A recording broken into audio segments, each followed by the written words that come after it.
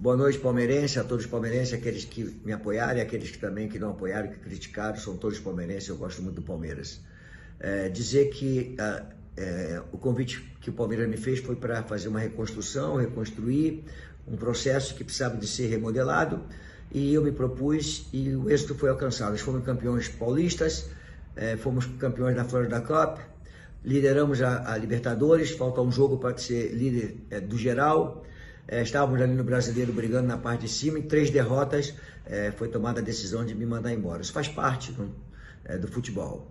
Então eu queria é, é, é, agradecer aos jogadores, a todos os jogadores, a todos os dirigentes, a todos os parceiros que estiveram comigo lá nesse momento que eu trabalhei no Palmeiras e agradecer ao Palmeiras por ter me levado, me convidado a quinta vez, a minha passagem a quinta vez de estar no Palmeiras. Muito obrigado a todos vocês.